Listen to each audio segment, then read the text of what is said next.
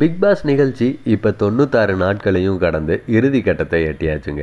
பதினெட்டு போட்டியாளர்களோட துவங்கின இந்த நிகழ்ச்சி சுவாரஸ்யத்துக்கும் விறுவிறுப்புக்கும் பஞ்சமே இல்லாமல் போய்கிட்டு இருக்கு. மற்ற சீசன்களை ஒப்பிட்டு பார்த்தா இந்த சீசனில் அதிகமாக சண்டை சச்சரவுகள்லாம் இருந்துச்சு. இதன் காரணமாகவே ரசிகர்களும் இந்த நிகழ்ச்சியை ஆர்வமாக பார்த்துக்கிட்டு இருந்தாங்க. அடுத்த வாரம் பிக் பாஸ் சீசன் செவன் நிகழ்ச்சியோட இறுதிப் போட்டி நடக்க இருக்க நிலையில் கண்டிப்பாக இறுதிப் போட்டிக்கு தகுதி பெறுவாங்கன்னு எதிர்பார்க்கப்பட்ட விசித்ரா எலிமினேட் ஆனாங்க. இது பிக்பாஸ் ரசிகர்களுக்கு கொஞ்சம் அதிர்ச்சியாக தாங்க இருக்குது மாயா தான் குறைவான வாக்குகளை வாங்கி இருந்தாங்க. மாயா தான் வெளியேறுவாங்க அப்படின்னு எதிர்பார்க்கப்பட்டு இருந்த நிலையில் திடீர்னு விசித்ரா வெளியேறினது பிக்பாஸ் ரசிகர்களால் நம்ப முடியலை. இதே போல் எதிர்பாராத விஷயம் ஏதாச்சும் நடக்கும். நம்ம எப்போ வேணாலும் வெளியேறலாம் அப்படின்னு கணிச்ச பூர்ணிமா புத்திசாலித்தனமாக பணப்பெட்டியை எடுத்துக்கிட்டு சந்தோஷமாக பிக் பாஸ் வீட்டை விட்டு வெளியே போனாங்க.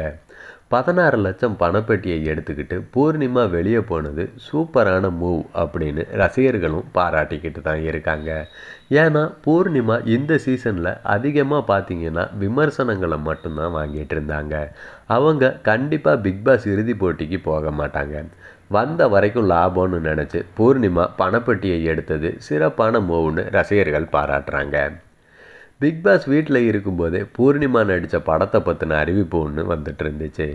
அன்னபூரணி படத்தில் சின்ன கதாபாத்திரத்தில் நடிச்சிருந்த பூர்ணிமா செவப்பின்ற படத்தில் கதாநாயகியாக நடிக்க கமிட் ஆகி இருந்தாங்க. இதோட அறிவிப்பு சில வாரங்களுக்கு முன்னாடி வெளியான நிலையில் இப்போ இந்த படத்தோட டீசரையும் வெளியிட்டிருக்காங்க.